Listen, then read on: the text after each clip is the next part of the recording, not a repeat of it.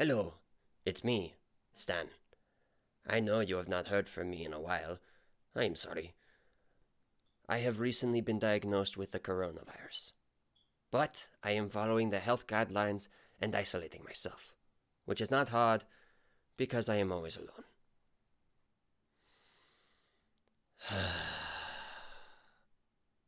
Enough about me. Back to crisis at hand.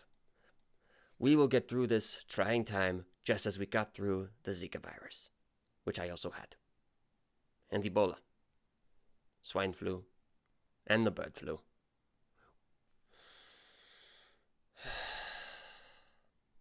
Weirdly, I never had the chicken pox. Hmm. Let us all follow the CDC guidelines so we can protect not only ourselves, but our fellow people. And Puppet. We will get through this together. Or perhaps we won't. The world will survive. Humanity may not. But beautiful Mother Earth will live on. Without us.